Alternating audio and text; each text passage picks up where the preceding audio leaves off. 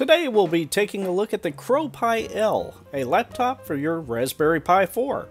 The CrowPi L features an internal 5000 mAh battery, integrated webcam, trackpad, mic, and a 720p display. It also has a cool feature that will allow swapping between two microSD cards very easily. The CrowPi L includes a number of programming courses, and with the Crowtail kit, you can create some impressive electronics projects. I'm John, and welcome to Wagner's Tech Talk.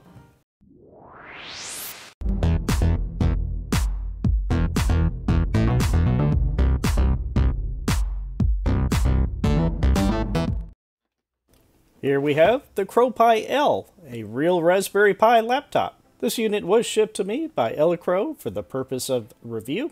One thing I like to do in videos like this is show you what's in the box and how to put it together. If you aren't interested in watching that, I do have chapter markers below so you could easily jump to any location in the video. Taking a look here, we've got the manual, which is fairly well done. And uh, let's see what's over on the right hand side. Looks like we have a mouse with a small dongle for the wireless connection. So if you plan to use this, it will consume one USB port. And we have, uh, looks like some standoffs and screws and a small flat cable and a 32 gigabyte micro SD card with an OS installed that was prepared by Elecrow. I often prefer to make a backup of the micro SD card for important equipment should I mess it up during my tinkering and testing, I can always revert back. If you want to do the same, visit wagnerstechtalk.com forward slash comment for some instructions on how to make a backup image, restore it, and resize the card if you plan to transfer it to a larger capacity card. Looking back to the box, in this package we have the GPIO adapter board, the TF card adapter board, HDMI, and USB expansion boards. We'll take a closer look at each of these in a moment. Under the cardboard packaging, you'll find the USB-C power supply with a 12 volt, 2 amp output. To fully assemble this laptop, you will need one additional component, a Raspberry Pi 4 Model B. It cannot be used with any other model Raspberry Pi, and at the time of this video, Raspberry Pis are a bit hard to find. Let's get the CrowPi L out of the packaging and prep the Pi 4. We'll take a closer look at the CrowPi L once it's all put together. There is a pretty cool magnetic cover which provides easy access to the location where we'll be installing the Pi 4. We'll first install these standoffs and screws. There are actually four holes on each side of the Pi. Just slide the screw through the bottom and then the standoff on the populated area of the board. One thing that caught me kind of off guard is that the screws actually keep spinning at a certain point when that happens, just move on to the next one until all four have been fully installed. Now we need to install the adapters and expansion boards. Let's take a look at each very quickly before we do. This is the GPIO expansion board with an integrated fan. We'll take a closer look here. There's the fan and the connector going to the PCB. Pretty cool. This is the HDMI expansion board. It has two micro HDMI connectors and a USB-C connector, and a rather unique TF adapter, which allows you to have two different micro SD cards installed and simply flip the switch to toggle between the two. Of course, do that once the Pi 4 is shut down. And lastly, this is the USB expansion board. It simply plugs into the USB port and will connect a small flat cable from there to the HDMI expansion. Now let's move on to the assembly.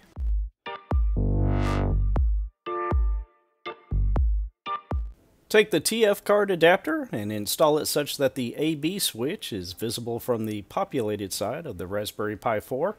We'll now take the HDMI expansion board, align the connectors, and insert it into the Pi 4. I almost didn't see the small cable in the package, but we'll use it to connect the HDMI expansion board to the USB board. Gently pull out the small tab on the connector, slide in the cable such that the blue ribbon is facing up, then push in on the black part of the connector to lock it into place. Repeat the same for the connector on the USB expansion board, and then plug it into the top left USB port. Next, we'll take the assembly and slide it into the cutouts for the ports on the CrowPi L case. It's held in place with magnets from the standoffs, so there are no screws to install. We'll now take the GPIO expansion board and position it across the GPIO pins on the Pi 4 and the pins within the laptop. Firmly press down on the board to make sure all the pins are properly seated. We can now insert the CrowPi L 32GB micro SD into the slot. Your manual may or may not explain this next step, but gently flip the black latch on the connector up, insert the flat cable on one side, and repeat the same for the other. Now we simply position the cover and the magnets hold it into place.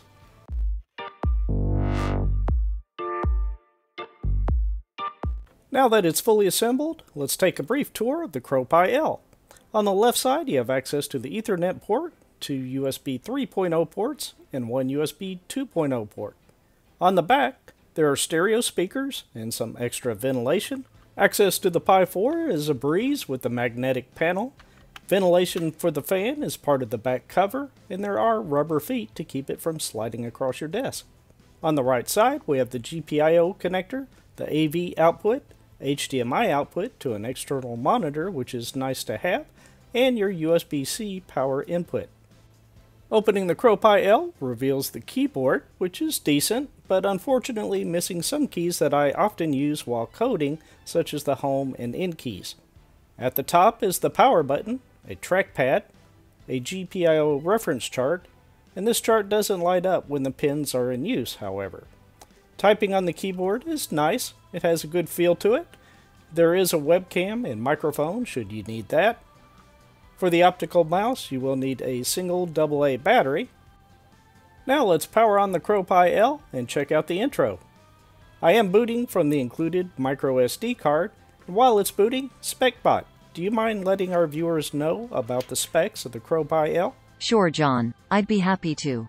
11.6 inch 1366 by 768 display, external HDMI connector, built-in 5000 mAh battery, integrated camera mic, switchable micro SD adapter, 40 pin GPIO connector, built-in fan, 96 programming courses.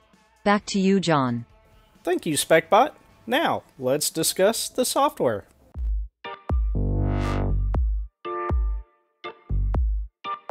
We'll start this segment with a look at the software included with the CrowPi L I'll connect this HDMI cable so I can capture the video and make it easier for you to see. You'll first be greeted with the Pi panel, which is a great introduction to electronics and programming with the CrowPi L. However, we'll take a look at that closer in the Crowtails segment. For now, I'll minimize it and we'll check out the other included applications. Under Programming, you'll find three different IDEs, or Integrated Development Environments. The Arduino IDE will allow you to program this very useful and popular microcontroller. Geany is a fast and lightweight IDE which supports many different file types as well as code completion. And as you would expect, under Internet you'll find the Chromium web browser for navigating to your favorite websites, such as this one. You'll also find VLC is pre-installed for video playback, a few typical accessories, and applications for adjusting your preferences. As you may already know, you can run a number of different operating systems on the Raspberry Pi, and it's not at all limited to the microSD that was provided by Elecrow. For example, I'll use this 512GB microSD and format it as FAT32 and install a number of operating systems to it using a tool called PINN-lite. I already have a detailed video on how to set up PINN-lite, and I'll place a link up above if you're interested. You may recall that the CrowPi L has a dual microSD slot. In this case, I moved the Elecrow microSD to the bottom microSD slot, and the new microSD with several OSs installed to the side that has the AB switch. This makes swapping between the two very convenient. PINN-lite provides a nice boot selection UI which allows you to easily boot into the operating system you're interested in. My favorite OS to use on the Raspberry Pi is Twister OS. Aside from having preloaded a large number of useful applications, you can also easily switch the themes. For instance, if you'd like the UI to look like Windows XP, well, there you go. All of the applications run identically regardless of the theme. It's only the UI that changes. Another one that you may find interesting is Twister 11, which, you guessed it, looks similar to Windows 11. And if you're a Mac user, you'll feel right at home with the Twister Sur Lite theme, that looks quite similar to the Mac UI. While we're in Twister OS, let's try out a few of the included features. While I personally rarely use trackpads, the one integrated in the CrowPi L was particularly difficult to use. The layout of the trackpad is in the upper right of the keyboard and is a bit small. It required two hands to resize and move windows around.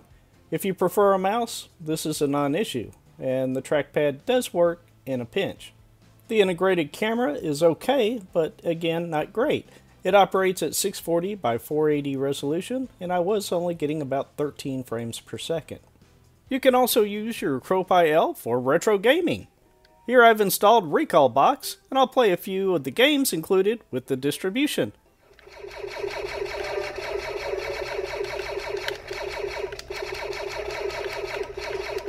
I did have a clone Xbox 360 controller plugged in to play these games.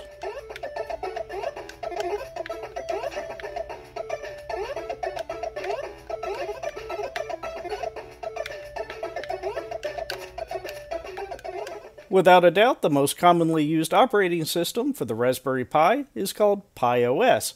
You can easily set it up in a dual monitor configuration, as you see here. But now let's explore the exciting world of using our CrowPi L for custom electronics and programming using the Crowtail accessory.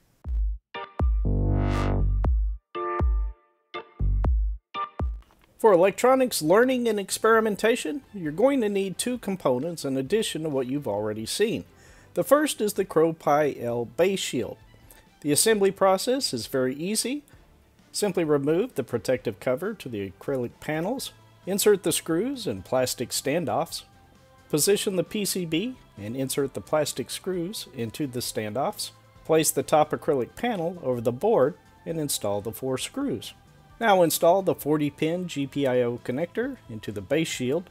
It's not keyed, so be sure the red wire is going to pin 1, as shown here. Insert the opposite end of the cable into the CrowPi L. Again, note the position of the red pin 1 wire on the left. The second component you'll need for the electronics experiments is the Crowtail starter kit for the Raspberry Pi. This kit includes a number of the sensors and components needed to follow along with the courses. The kit makes it very easy to get started learning to program the sensors without the need for a soldering iron. The Crowtail kit is essentially an easy to use breadboard solution. I do need to make you aware of one thing that I almost missed, and that is under the module tray is a very nice user's guide. This user's guide includes a link to the Python code examples on GitHub and an overall great introduction to the included modules. There is a bundle of wires with connectors already applied, which make it very easy to snap the modules to the base shield. It's actually much easier to use than a standard breadboard. There are two primary lessons you can follow. The Let's Code lessons utilize a drag and drop development environment, or the Python lessons if you prefer. At the bottom, you'll find groups for related applications, and the forums group has some helpful links for additional research and assistance. The Let's Code lessons cover not only hardware control, but also examples on creating games. Under the hardware control, there are 20 lessons which will step you through from beginning to end what modules you'll need, how they should be connected, and guide you through the entire process very clearly. Under the Python lessons, you'll find the equivalent courses using the Python programming language, so you have the option to code in a manner that best suits your experience. If you're new to this stuff, Let's Code is a great way to dive in and start having fun. When you enter the Let's Code lessons, a presentation will appear, as well as the IDE on the left-hand side.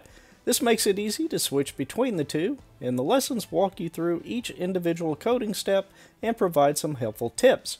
But I'm going to go rogue here a bit and demonstrate a simple blinking LED example to show you how easy it is to code even without following a lesson. I'll start by connecting this LED to the D5 or digital 5 port. Now within the Let's Code IDE, I'll drag the onStart object onto our canvas. And next we need to set the pin number 5 as an output for our LED, so I'll drag that on there and position the code so it's a little easier to see.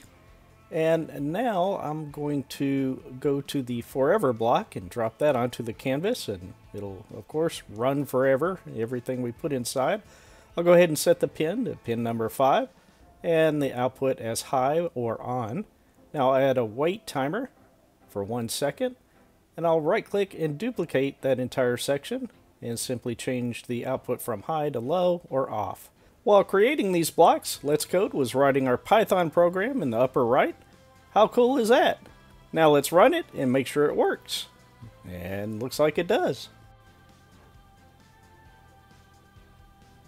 There are far more lessons to explore, such as game programming. And this one looks like fun, as it's a cross between asteroids and missile command, as well as some more advanced Python and Let's Code projects. One of the more complex Let's Code tutorials I tried was the timer project, or lesson number 22. This one creates a number of smaller code blocks to function as a stopwatch.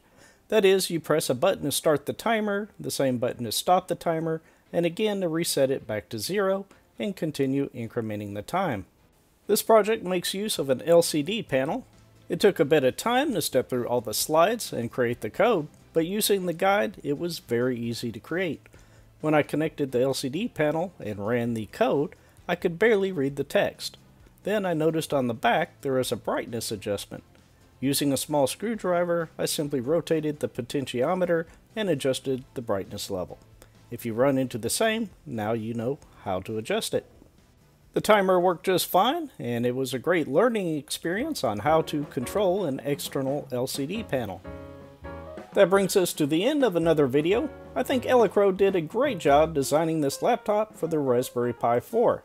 I appreciate that it has a built-in battery that states it should last about 3 hours and is consistent with what I noticed. I also appreciate the integrated keyboard, webcam, and mic.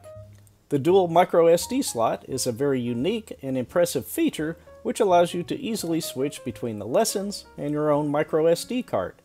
Using it with PINN-lite makes it even better as you can install a number of different operating systems without having to remove the back cover, although it's very easy to do should you need to. I should also note that the trackpad is not that great. I don't use them myself, so it's not a big deal for me personally, but it may be for you. I hope you found this video helpful and that I've answered most of the questions you may have about the CrowPi L. If I missed any, please comment below and ask away. If you enjoyed what you saw here, please click the like button. If you didn't, click the dislike, but please leave me a comment and let me know what you didn't like. It will help me improve future videos and all feedback is appreciated. If you haven't already subscribed to the channel and want to see future videos like this, please do. And don't forget to ring the bell notification so you don't miss a future video. Thanks again for watching, and I look forward to talking with you again very soon.